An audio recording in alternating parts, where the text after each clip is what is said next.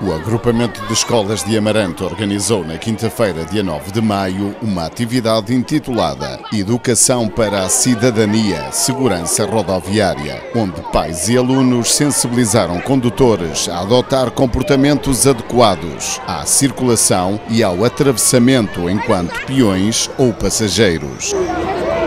Esta ação decorreu na rua Cândido do Reis, no centro de Amarante, e visou aprofundar o conhecimento dos jovens alunos acerca do ambiente rodoviário, adquirindo hábitos de segurança e de responsabilidade.